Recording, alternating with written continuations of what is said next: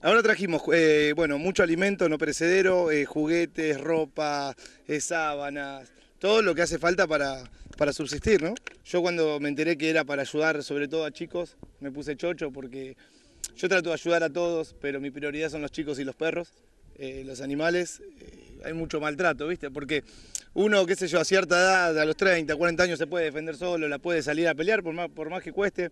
Una criatura depende de esa persona de 30, 40 años y el animal también.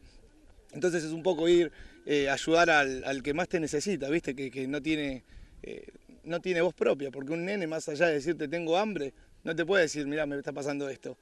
Entonces dije, bueno, voy a responder a lo que realmente me, me gusta a mí. Estuve revisando un poquito antes de salir las bolsas de los juguetes.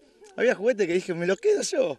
No sabés las cosas que hay. Un, había un camión, un colectivo así grandote, con todas las ruedas plateadas, todo, me volví loco. Y nada, sentí que siempre viniendo a la infancia de uno, siempre dije nada, cuando era chico también una persona muy carente y me hubiese encantado tenerlo. Y ahora poder ser parte de lo que me hubiese gustado a mí de chico, cumplirse el otro nene, eh, nada, eso es lo que me pone contento en realidad.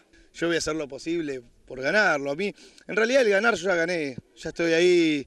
Eh, ya gané en lo personal, ahora lo que quiero es ganar para ellos, ¿viste? Sé que hace falta mucho ese dinero para poder construir y si no se puede, bueno, de a poquito, por suerte tengo unos seguidores que es gente que es muy como yo, ¿viste? Nada, hasta no cumplirlo no paran y, sé que entre todos lo vamos a poder hacer, aunque sea de a poco, por ahí no es tan, rápido como ganándolo, pero se va a poder hacer igual. Yo nací en Deró, bueno, de chico me fui a vivir a Buenos Aires, me quería en el barrio de La Boca, después toda mi vida viví en Barracas, eh, siempre tuve la cabeza clara, ¿viste? Hay gente que le gusta como soy, hay gente que no, pero así es en todo. No, no podemos siempre estar gustosos de, algo porque si no es aburrido aparte. Y yo soy un tipo normal, eh, ahora me tocó vivir esto que lo estoy viviendo y disfrutando, eh, mañana por ahí me toca vivir algo mejor, algo peor, siempre sabiendo que, ayudar es lo que después cuando vos te vas a, dormir, te dormís tranquilo. Porque vos cambiás un auto, y te puedo asegurar que es así. Lo usás un mes y te aburrís. ¿Me Ahora quiero cambiar otro. Ahora, verle la risa a un nene y que te da un beso, o como el, no sé dónde está el enano de recién que me dijo, hola amigo, un nene de tres años que te diga hola amigo, es como que eso te lo llevas y no te lo olvidas más. Yo tenía un trabajo muy sacrificado, hermoso. Laburar con perros es divino. Pero es sacrificado. Hoy por hoy me, sigo levantando temprano, pero por ahí hago tiempo a desayunar, salgo más tranquilo, eh, cambia, cambian mucho, cambian mucho. Me pude comprar mi casa, que no es poca cosa. Eh, hoy, hoy por hoy nos están robando como locos y hoy nos cobran el alquiler a precio dólar paralelo.